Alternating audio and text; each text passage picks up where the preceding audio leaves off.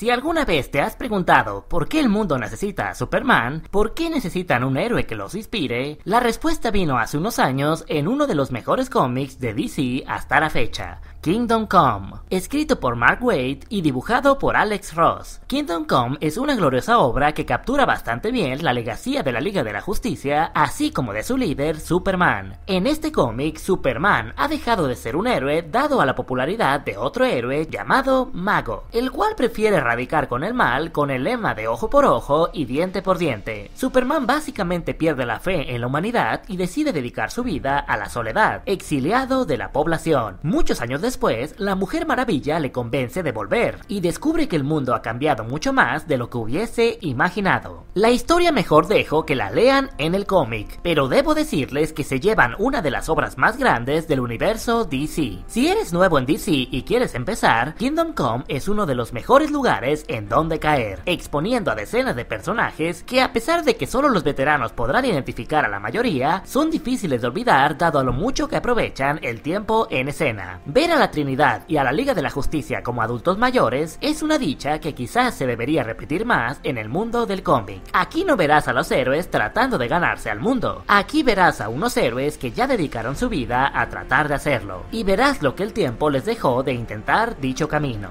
Me gustaría explicarles muchos detalles que solo los fanáticos de DC entenderían, como el por qué estos héroes básicamente son los héroes de la edad de oro del cómic y el resultado final de sus aventuras. Claro, es un Elseworld, pero saben a lo que me refiero. Pero sería demasiado. Lo que sí puedo decir es que tiene una selección de personajes tan bien balanceada que les asegura una lectura bastante disfrutable de leer. Soy fanático de leer a los héroes más aterrizados en la Tierra, escucharlos conversar como personas comunes y corrientes y este cómic lo logra bastante. Y si a eso le añades el dibujo magistral de Alex Ross, que siempre te hace sentir a los personajes como si estuvieran de carne y hueso, amigos, tienen una de las obras más identificables del medio. Es inevitable alabar a Ross donde meta las manos, pero cómo no admirar a un hombre que hace su trabajo en pintura y lienzo, y al final se fotografían sus pinturas para hacer cada panel del cómic. Siempre que vean un trabajo de Alex Ross es que la mayoría del tiempo se guardó para algo de tremenda calidad, y Kingdom Come no es la excepción. Son trabajos que se quedan por años catalogados como eventos de lo mejor.